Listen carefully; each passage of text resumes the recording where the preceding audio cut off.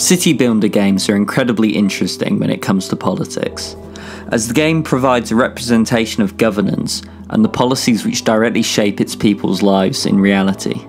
From Marxist literary perspective, as the art is the product of the developer's economic circumstance and their ideology, a game like this will always be political.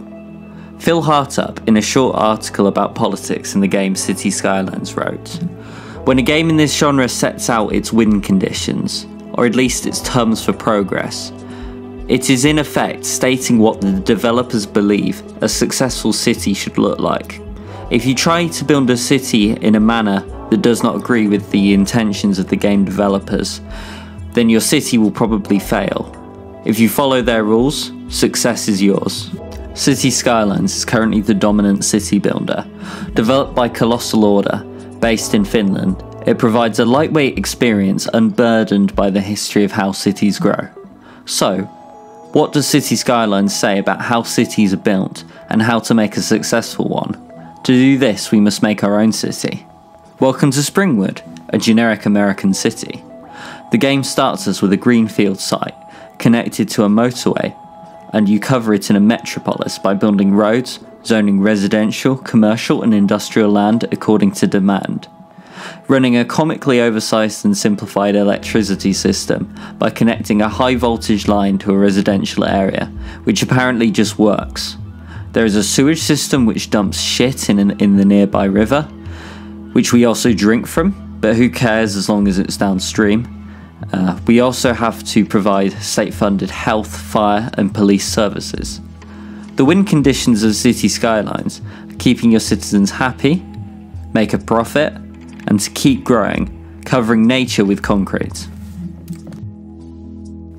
I think it's only fair to compare city skylines to another recent city builder, Workers and Resources, Soviet Republic developed and published by 3 Division, based in Slovakia. Set during the Cold War, the game provides you with your very own Soviet Republic and a planned economy to run. With such a different setting, these games should be also be very different, apart from the basic mechanics of a city builder, of course. However, this is far from the case. The game starts with a nondescript location in Eastern Europe between NATO and the Warsaw Pact.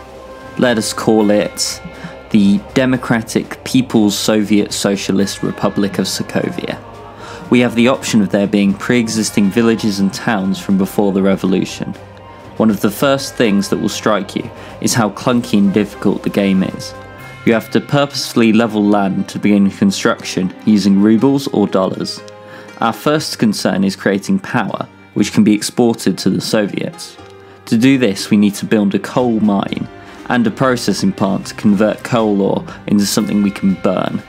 This will then be conveyed down the hill to an aggregate storage, then to our coal power plant, to begin polluting the atmosphere.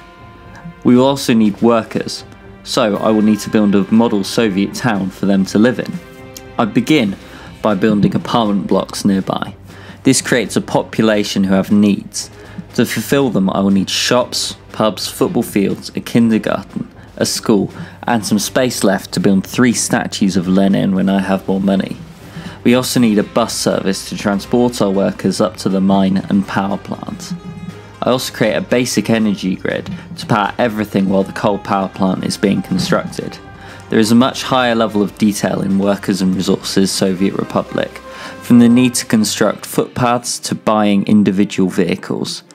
This has taken me much more times to get right showing the impossible tasks central planners faced in trying to organise a working economy, even though I only have to manage a small town rather than the Soviet Union. Eventually, income begins to come in, and I set about expanding my town further. Just as in city skylines, the goal is exponential growth, through profit and fulfilling workers' needs to keep them happy and productive. The only difference is that in Workers and Resources Soviet Republic, I have the option of achieving resource independence and constructing everything from my own building materials. This in mind, I'm going to take the time to dunk on a Guardian Cities article from five years ago for no reason. The article is supported by the Rockefeller Foundation, the one that um, supported Nazi eugenic programs, by the way. Finn Williams, the writer, tries to create a post growth anti capitalist city but creates no commercial zones, i.e., no shops. In city skylines, industry zones create products, which are then sold through commercial zones to people living in residential zones. It is no wonder that Williams City collapsed, as there was no, no distribution network for the items being produced. To be fair on Williams, the game provides no alternatives to shops, but then neither does Workers and Resources Soviet Republic. The only difference is that one is controlled by the state, while the other seems to be private.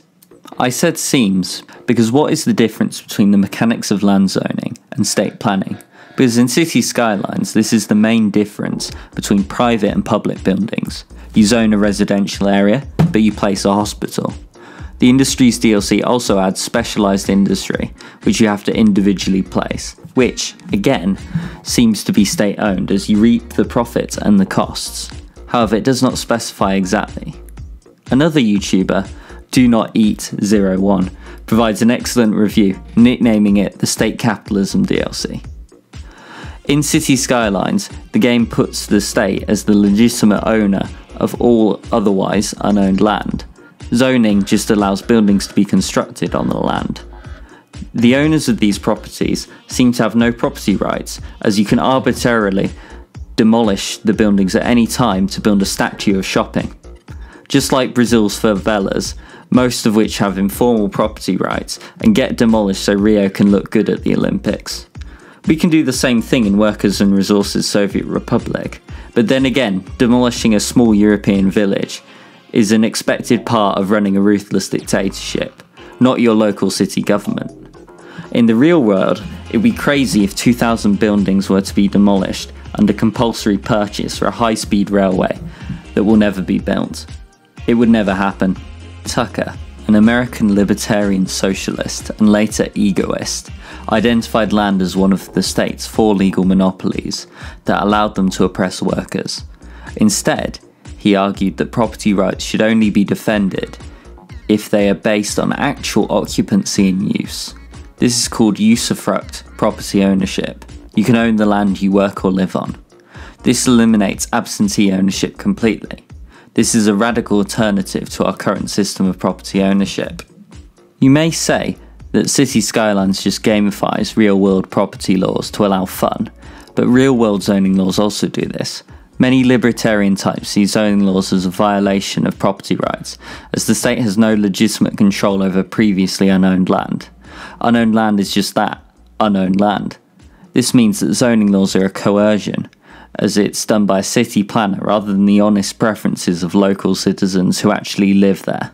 City Skylines has no mechanic that just lets people build their homes themselves. Instead, the supposedly free market between buildings in the game is organised by top down planning, with all the same flaws as that of the USSR. So, what information does the planner, appointed by Gosplan, in running their centrally planned city have? You have three bars that apparently show perfect demand for each type of zone, which can be satisfied by zoning any part of the map, regardless of its location, leading to citizens driving across the entire city to buy a pint of milk, because the central planner has made a large block of residential without any shops. City Skyline's simplicity and willingness to brush aside problems makes the task of the central planner seem easy and intuitive. Workers and Resources, Soviet Republic, for a game that seems to glorify central planning in a jokey way, through its complexity, shows how hard meeting the needs of your citizens is, through complex supply chains that always break down somewhere, and the fact that I still do not know how trains work.